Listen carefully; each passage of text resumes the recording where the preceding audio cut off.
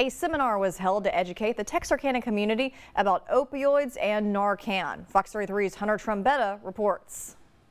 So opioid use has, has skyrocketed, especially in our area, um, and so we wanted to bring that awareness out to the community for free. Organizations and community members gathered for a seminar on the campus of Texarkana College on Tuesday. So we hosted this free event for them to come learn about the opioid, um, what it's doing in our community, what it's not doing in our community. Nowadays we know six to seven out of 10 illicit, illegal drugs off the street contain a deadly deadly dose of fentanyl or opioids. One of the tools being used to combat the devastating effects those drugs are having on the community is Narcan, the drug used to stop an overdose in its tracks. Just want people to be aware and know that you can save a life um, by having the proper training with the Narcan and having it on hand. Medical professionals said that Narcan does not require a prescription and that people should not be afraid to use it if they think someone is overdosed. Narcan or naloxone is a pretty benign drug in the sense that it almost has no side effects.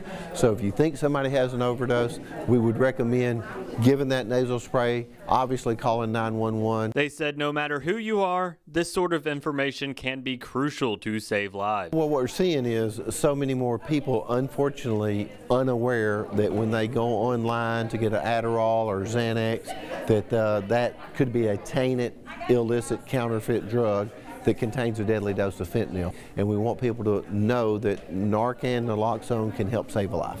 Hunter Trombetta, Fox 33 News.